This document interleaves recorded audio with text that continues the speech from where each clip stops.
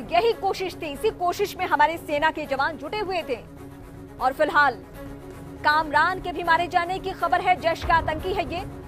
रात 12 बजे से चल रही थी मुठभेड़। कहा यह जा रहा था कि कामरान घेरे में आ चुका है। कार्रवाई में सेना के मेजर समेत चार जवान शहीद हो चुके हैं, लेकिन दो आतंकियों को ढेर किया जा चुका है। पिंगलीना में सुरक्षा बलों ने इमारत उड़ा दी है। पुलवामा हमले के मास्टरमाइंड गासिर राशिद के मारे जाने की भी खबर है।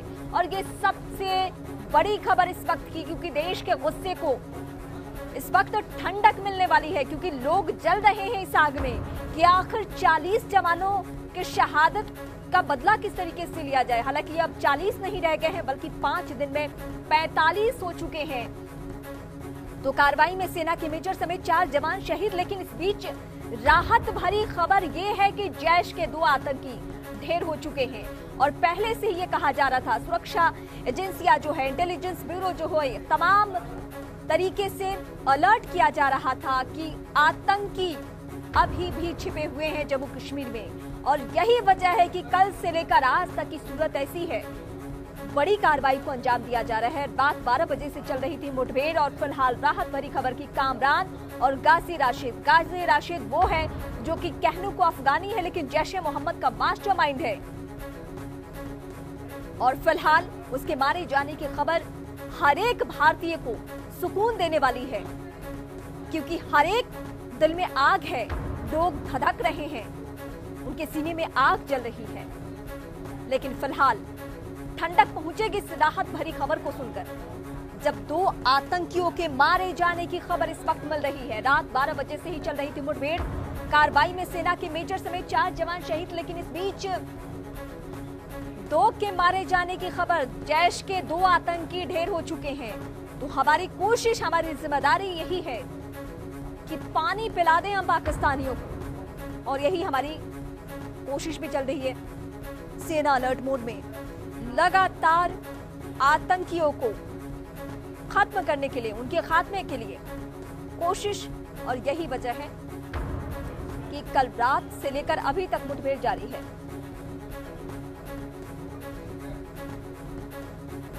विश्वंभर निर्माण इस वक्त हमारे साथ जुड़े हैं। विश्वंभर जी, ये कितनी बड़ी राहत की खबर। दो आतंकियों को ढेर कर दिया है हमारे जवानों ने। ये बहुत अच्छी खबर है, लेकिन दुखद ये है कि उन दो के बदले हमारे पाँच मारे गए। ये बहुत दुखद की बात है। और मेरे को पक्का पता है कि आर्मी को अभी पूरी वो छूट दे दी गई है। आतंकवाद का सफाया जल्दी आर्मी करेगी इसमें कोई शक नहीं है। हमारे जवान है वो बहुत स्ट्रांग है और हम ये अपने जवानों की मुठभेड़ में जो होती है उसको हम सहन करने की शक्ति है और उन्होंने अच्छा काम किया है। बड़ी अच्छी खुशखबरी है। बिल्कुल सर, राहत तो इस बात से भी है कि गाजी राशिद जिसको मास्टर माइंड माना जा रहा था, इस घटना के बाद से ये कहा जा रहा था कि 25 किलोमीटर के दायरे में ही है। क्या उसके मारे जाने के बाद जो आतंकी या जो आतंकी गतिविधियों को सपोर्ट करते हैं, उनमें खौफ का माहौल बनेगा और फिर इस तरीके से कम से कम कोई खबर नहीं मिलने वाली है जहाँ हमारे जवान शहीद हो जाए। नहीं, खौफ की खबर तो मिलेगी। खौफ तो पैदा होगा। इन आतंकवादियों में खौफ तो ऑलरेडी पैदा हो गया है। जैसे पूरा देश एकजुट हुआ है और देश की एकजुटता के जो समाचार मिल रहे हैं पॉलिटिकल पार्टीज़ एकजुट हुए हैं माननीय प्रधानमंत्री के जो संदेश हैं गृह मंत्री के जो संदेश हैं इन संदेशों से पूरा पाकिस्तान सराया है और ये आतंकवाद तो बिल्कुल एक बिल्कुल इनका मोरल बहुत डाउन है। हम्म। और ये आइडियल समय है जब इनका मोरल डाउन है आर्मी को अपनी स्पीड अप करनी चाहिए ऑपरेशन और जितनी गति से तेज़ी से इनको पकड़ा जाए और इनका सफाया किया जाए उतना अच्छा होगा अच्छा आप इन सारी गतिविधियों पे बकायदा नज़र रखे हुए हैं। आपको ये सारी चीज़ें देखकर क्या लग रहा है कि अभी भी आतंकी छिपे हो सकते हैं? क्योंकि दो आतंकी जिनको लेकर कल से खबरें चल रही थी कि गाजी राशिद जो कि कहने को अफगानी है लेकिन मास्टरमाइंड है जैश मोहम्मद का। अब वो मारा जा चुका है कामरान मारा जा चुका है। तो क्या और भी आतंकी गतिविधियाँ यहाँ देखने को मिल सकती है इस इलाके में? क्योंकि सर्च ऑपरेशन अभी भी जारी है। ऑपरेशन जारी रहेंगे और आतंकी एक नहीं कई आतंकी छुपे हुए हम्म। कई आतंकी छुपे हुए हैं ये एक दिन में एक दो दिन का काम नहीं है। इसमें समय हम्म। लगेगा इनको सफाया करने यानी ये प्रोसेस को कंटिन्यू चलना होगा। बिल्कुल फॉलो अप एक्शन कंटिन्यू रहेगा सरकार ने जैसे छूट दी है हाँ हाँ। आर्मी के हवाले और आर्मी को अपना ऑपरेशन करना चाहिए और जो करते हैं कुछ ही दिनों में ये बिल्कुल ठीक हो जाएगा अच्छा इस बीच कल से लेकर आज तक की जो सूरत बनी है, पाँच अलगाववादी नेताओं की सुरक्षा व्यवस्था वापस ले ली गई है।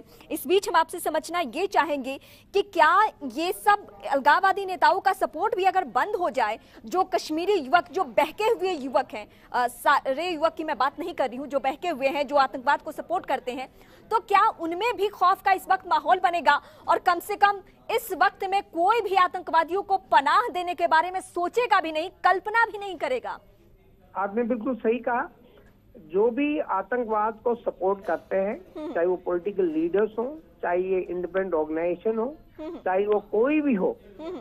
जो आतंकवाद को सपोर्ट करता है और इस देश की मातृभूमि पर रहता है उसको ये अधिकार नहीं है कि आतंकवाद को सपोर्ट करे उनके अगेंस्ट जो है सरकार कदम उठाए लीगल एक्शन ले हम्म। और जो हुरियात के लिए किया है वो सरकार ने बहुत सही किया है और मैं उसकी सराहना करता हूँ हम्म। सर देश के अलग अलग हिस्सों से भी ऐसी छिटपुट घटनाओं की खबर हमें मिल रही है हमारे पास पहुँच रही है अगर आप टेलीविज़न कंटिन्यू देख रहे हैं तो आप तक भी ये खबरें पहुँची होंगी कि जयपुर में भी कुछ कश्मीरी छात्राएँ ऐसी हैं जिन्होंने व्हाट्सएप स्टेटस लगाया आतंकवादियों की तस्वीर लगाई। तो क्या इस बात में सच्चाई हो सकती है या ये अलग किस्म का प्रोपागेंडा भी सेट हो रहा है? क्योंकि एक जिम्मेदार नागरिक होने के वजह से हमें सारे पहलुओं को ध्यान में रखना चाहिए।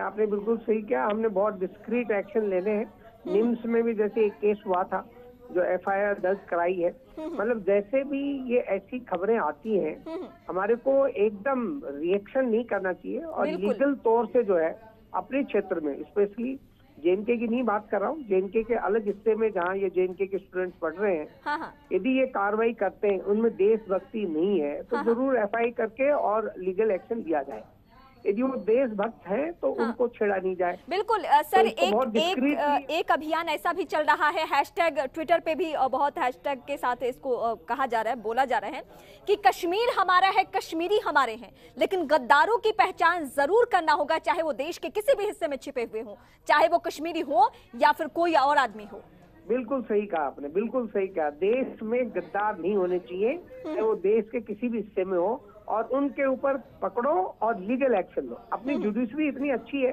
स्पेशल कोर्ट सेटअप करो ऐसे आदमियों को और हम्म। उनको पनिशमेंट दो जो भी लीगली है उनको और देखना ये लीगल आप कार्रवाई करेंगे और कोर्ट्स जो है डिसीज़न जल्दी लेंगे उसका इम्प्लीमेंटेशन जल्दी होगा उसको प्रोलॉन्ग नहीं करेंगे तो ये दुविधाएँ जो है वो दूर होंगी सर आपने बहुत सारे ऐसे माहौल देखे हैं जब देश ऐसे नाजुक मोड़ से गुजरता होगा जब शहादत से हम सब बौखला जाते हैं धैर्य की सीमाएँ टूट जाती है।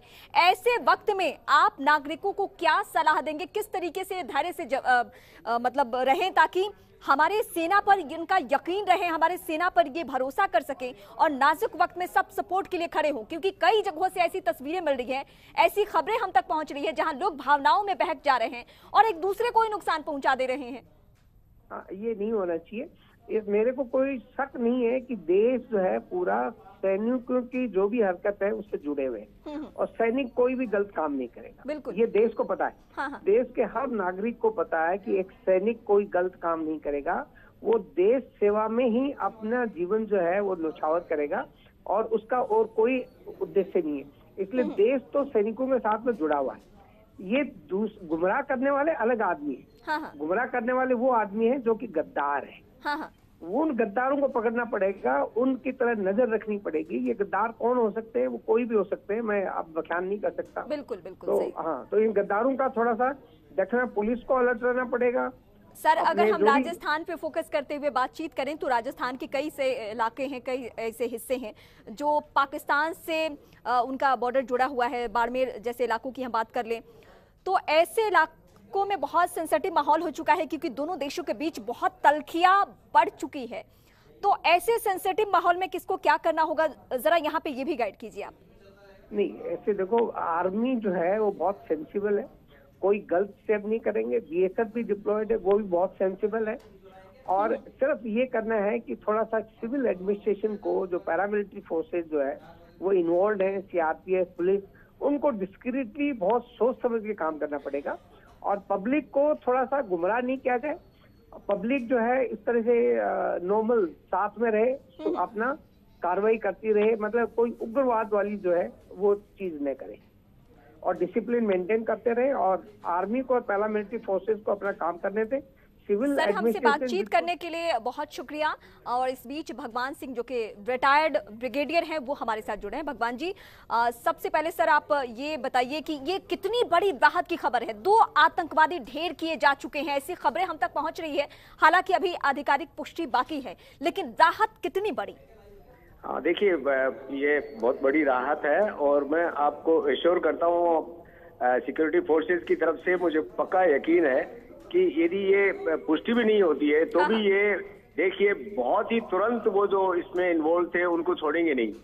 वो डेफिनेटली उनको खत्म करेंगे। और ये कुछ दिन या हफ़्ते की बात है यदि ये दो हो भी गए तो बाकी जितने भी इन्वॉल्व क्योंकि दो ही नहीं है काफ़ी इन्वॉल्व है इसमें। बिल्कुल बिल्कुल ये, बिल्कुल। ये छोटा मोटा हादसा नहीं है बहुत बड़ा है तो कई इसके अंदर कॉन्स्पिरेटर्स हैं और कुछ उसके अंदर परपिट्रेटर्स हैं। तो ये सारे वो क्योंकि सिक्योरिटी फोर्सेस ने ठान ली कि इनको खत्म ही करना है तो वो बच कैसे सकेंगे? चलिए सर अब आगे भी आपका रुख करेंगे आपसे बातचीत करेंगे। फ़िलहाल हमसे बातचीत करने के लिए शुक्रिया। भगवान सहाय रिटायर्ड ब्रिगेडियर ये हमारे साथ जुड़े हुए थे और ज़ाहिर सी बात है जो जिन लोगों का सेना से ताल्लुक रहा है जो खुद सेना में रहे हैं वो इस वक्त बहुत राहत की साँसें ले रहे हैं।